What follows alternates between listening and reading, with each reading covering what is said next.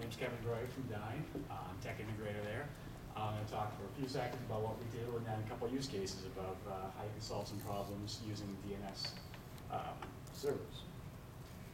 So, first of all, um, we are DNS experts, so to speak. Uh, At base, we translate names into numbers so we can find your individual in- infrastructure associated with your name. Those are all of our great stats there, seventeen global centers, billions upon billions of queries a day.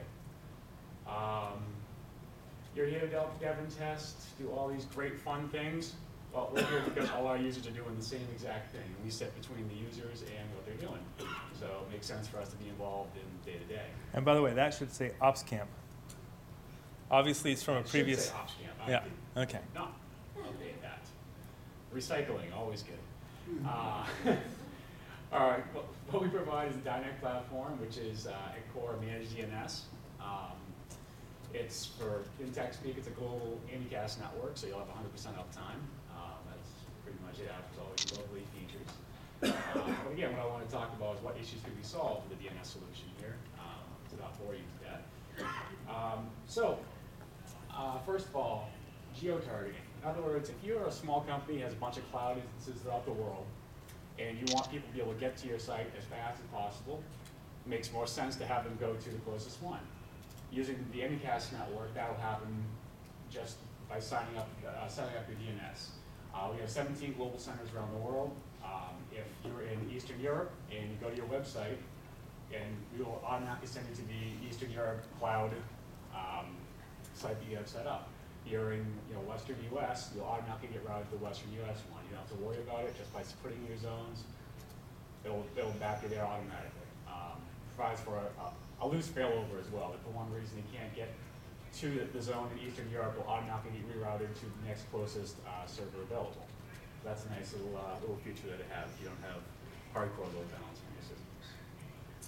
Um, infrastructure in the cloud, if you have your brick and mortar servers that you're building up and you decide you wanna start outsourcing a little bit of that server power to the cloud, we can help you with that too. You don't wanna put hundred percent of your traffic out in the cloud right away and say, oh, good luck, cross your fingers. We'll allow you to do traffic management and put just a portion of that traffic out there. So if you wanna do one percent or five percent of that traffic coming to your site, see how the servers hold up. If they're acting as you expect them to act, you, you can increase it as you go, but it gives you that, that granularity that you can adjust, like a, a slider back and forth. I want this much traffic going here and there. Um, scaling smart in the cloud, this is basically speed. How fast can you deliver your website, what, what metric you, uh, particularly use, whether it be queries per second, transactions per second, how fast can you get it out to the customer? Um, this is a use case from Learn Hub. See on the left-hand side, this was their original infrastructure, uh, their original DNS setup. Um, and this spikes was, yeah, it was all right, it worked for them, but as they started growing, it couldn't scale.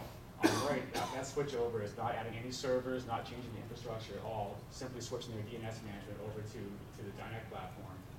And it dropped, decreased speed immediately, allowed to smooth out the edges, and they were able to handle much more traffic without any decre- decrease in performance.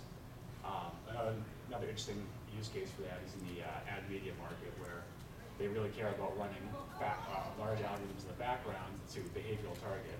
Um, you have a real, real fast uh, return on your website, you can run those more in-depth behavioral targeting and get the ads out to the users, they're more likely to click and go through, when everyone's happy because they're making money.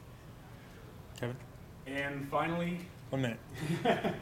and finally, ease of automation, which is very pertinent to this particular camp. Um, we expose, Dyna exposes a, a, a large API to allow you to do anything you want to do in a DNS system through our API, through REST or SOAP.